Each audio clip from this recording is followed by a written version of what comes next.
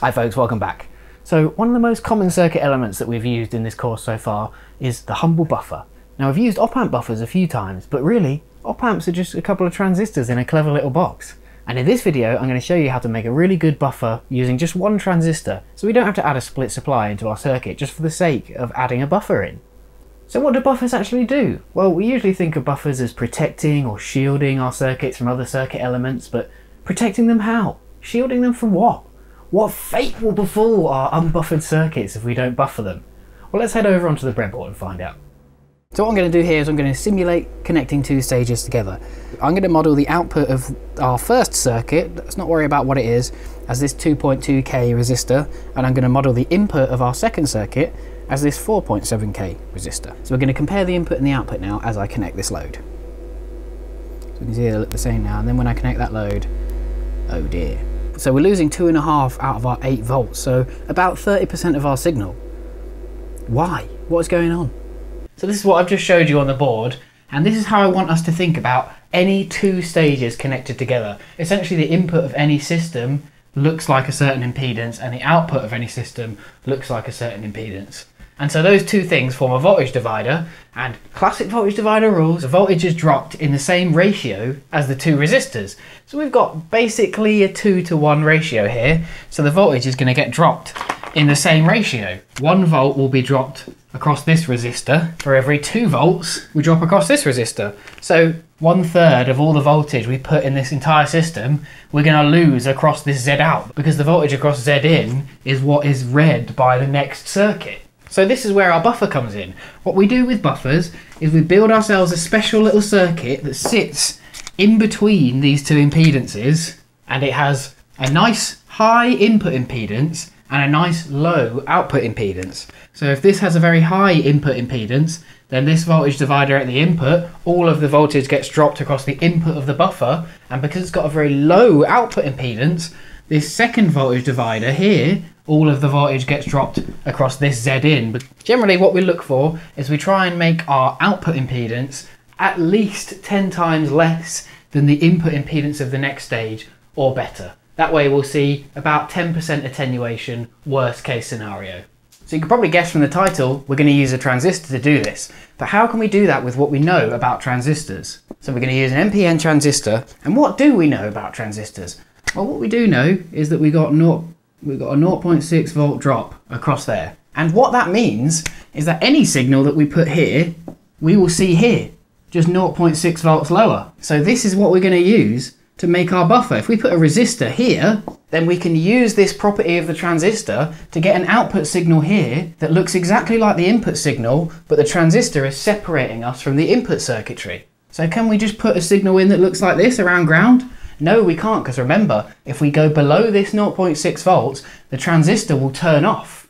So what we do is we do a thing called biasing. We use a voltage divider to set the base of the transistor at a voltage so that it's always on. And then we use a capacitor to superimpose the input signal onto that bias voltage, we call it. So if this bias voltage is sat, it's going to be at around 5 volts. So it'll be at 5 volts, and then when we apply our input signal, it will look like this. And then at the output, the output will sit 0.6 volts below that, and then it should go up and down exactly with the input signal.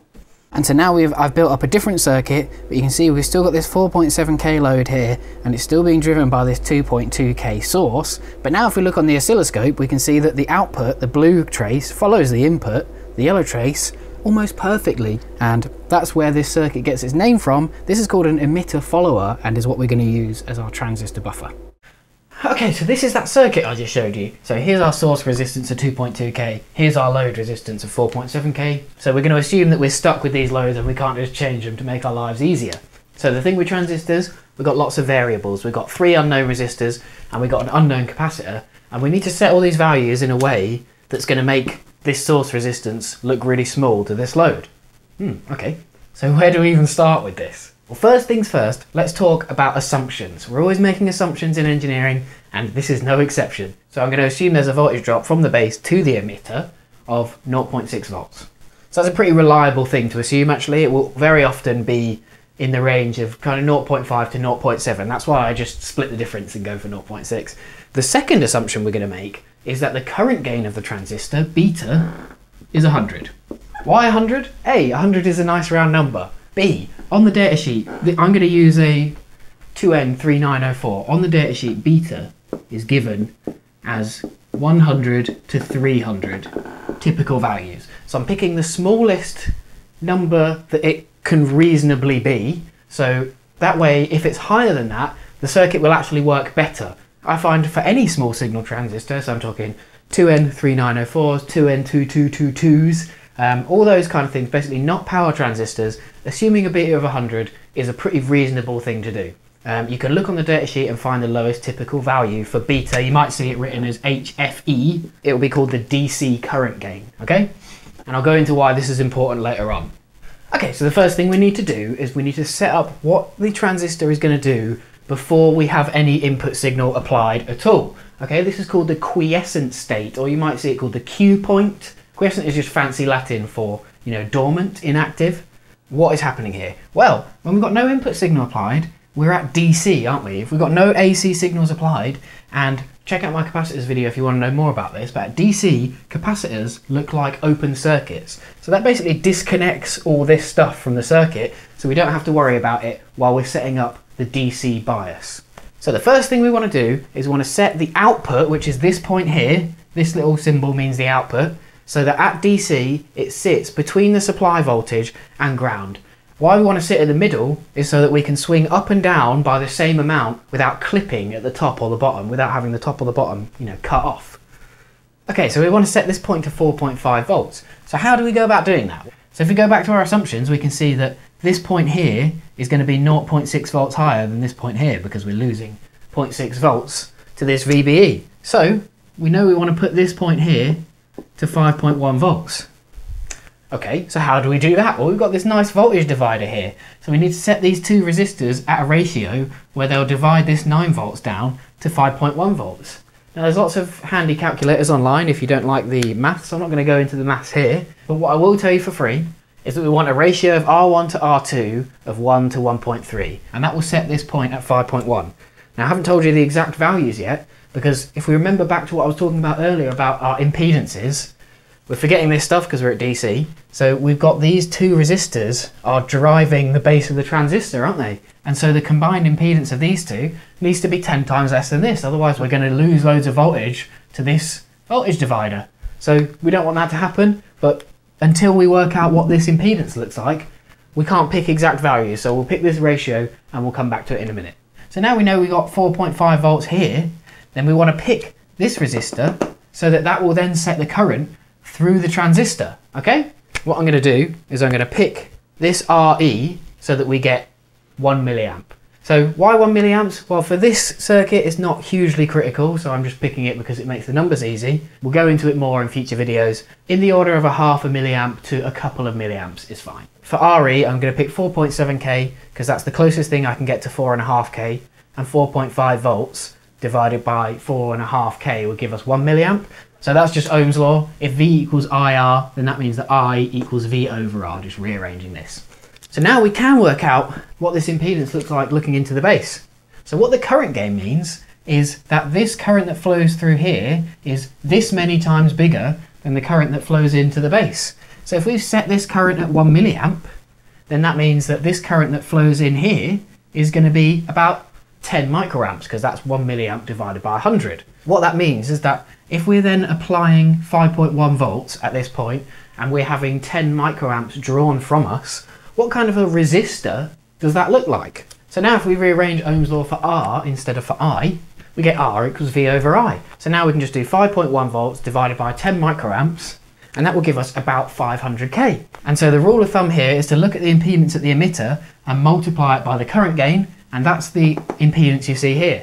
So let's call this 470k. Well, there's a screamingly obvious problem here, hopefully, which is that, well, Mr. AudioPhool, what happens when we connect the load? I've got the load disconnected, but we're obviously going to connect the load up. And now you can see, if you're looking down at the emitter, these two are in parallel, and because they're the same value, the total impedance here is halved. And so that will halve this. And this is a massive trap. If you just test up your little circuit element in isolation, and then you connect it up and you're not thinking about what your loads are, you could be in big trouble. So these transistors are very clever, but they're not magic. You still have to think about what you're doing. Okay, so instead of 470k, this actually looks like 235k. Okay, so now we know that we want the parallel impedance of these two to look 10 times less than 235k. So now we can pick two values, and I'm going to pick values of 39k and 51k. So that suits our this ratio, and they also have a parallel impedance of 22k or less. So this is pretty nifty, right? So what we've essentially done is through the current amplifying properties of the transistor, we've made this RE look in isolation about 100 times bigger in reality because of our load. We've just made it look 50 times bigger, but that's still good. Um, and obviously we could have picked this RE to be a, a value so that when you connect the load, it doesn't massively change the impedance. I wanted to put this trap in there because hopefully you'll remember it a bit better in the future. Now we can finally apply our input signal. So I'm going to assume that we've picked a capacitor value that won't interfere with our input signal. I'll go into that in just a second. This capacitor looks like a short circuit to signal frequencies because we've selected it to be that way. So essentially we can ignore this and just think that this looks like a, just a piece of wire. And so now we've got this resistance here driving this circuit. And so what does it see? Well, don't fall into the trap of thinking, right, so these two are hopefully obviously in parallel. I could forgive you if you then thought that this was in series, the base of the transistor, this 235K, but it's actually in parallel with these two guys. So what I can do to make that a bit more obvious to us is I can simplify this voltage divider. And what I'm going to do is I'm going to imagine if I were at this point looking in, what do I see? Well, I see these two in parallel, and we see a voltage of 5.1 volts. I can replace the voltage divider itself with the equivalent impedance, which is those two resistors in parallel. So this means R1 in parallel with R2, and that was 22k. And then I can replace this voltage with the voltage at the output of the voltage divider. And so as far as the input to the circuit is concerned, this looks exactly the same as it did before. It's just a bit easier for us humans to understand. And now that makes it a little bit more obvious, I hope, that these two resistances are actually in parallel and not in series. So now we can see that the source resistance drives these two in parallel, and because this is 10 times smaller, the parallel resistance just looks like the smaller resistance. So we've got 2.2k driving 22k. This is 10 times bigger than this, so that's good. And then the transistor itself is driving these two guys in parallel. So now the last thing we need to figure out is what is, what is the output impedance of the transistor itself. And the thinking here is just the opposite way around to when we were looking in at the base. So now what we do is we look this way and we see this impedance here, we see these two in parallel, and then we divide by the current gain instead of times. So now we see 22k in parallel with 2.2k. 2.2k is 10 times less than 22k, so the parallel resistance of these two just looks like 2.2k. So we see 2.2k, which are these two in parallel, divided by our current gain 100. So we see an output impedance here of 22 ohms. So now we've got the output of the transistor, looks like a 22 ohm load, driving these two in parallel, which looks like 2.35k. So that all worked out as well. So this buffer is now working great. So the last thing we need to do is work out this what value this capacitor needs to be. And now it's quite straightforward because this capacitor forms a high pass filter with these two in parallel, which we know just looks like 22k. So if we want to pick the center frequency of 10 hertz, let's put it at, well below the lowest frequency we want to pass, which is 20 hertz because that's the lowest frequency that you can hear. That equation is 1 over 2 pi times the resistance that the capacitor is coupled with times the frequency that you want it at. So that will be 1 over 2 pi times 22k times 10 hertz, and that comes out at about 0.7 microfarads. So a 1 microfarad capacitor would do just great there. Okay, so now that we've seen how we design it, why don't we go up on the breadboard and have a bit of a closer look at the circuit itself. So the first thing I want to show you is this bias point.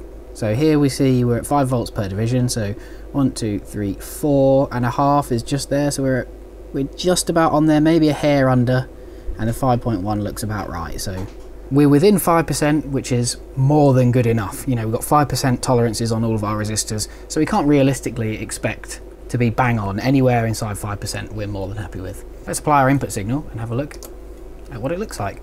So we can see here this is absolutely beautiful and then we see if I just move the output, I'm just moving this on the scope to remove that VBE drop, we can see that the output is exactly what the input is.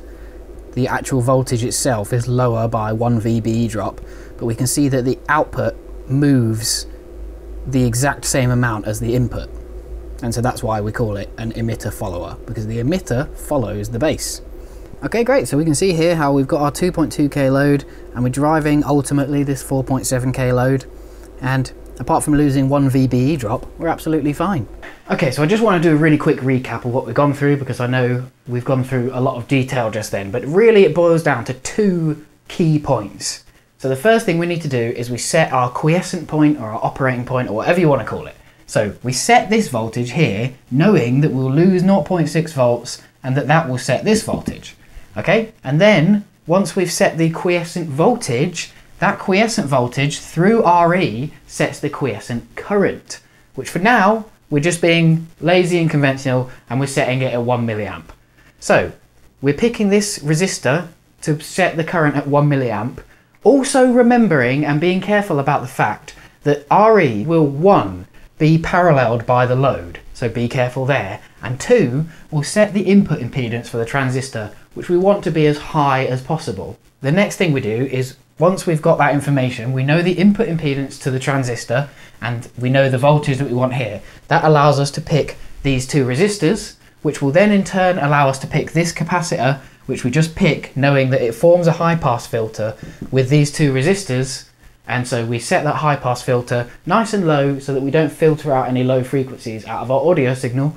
So then we've got this 5.1 volts and what we're doing is we're using the capacitor to superimpose our input signal onto the input then the voltage at the emitter changes by the same amount that the input voltage changes and we see that voltage across the load and that's all there is.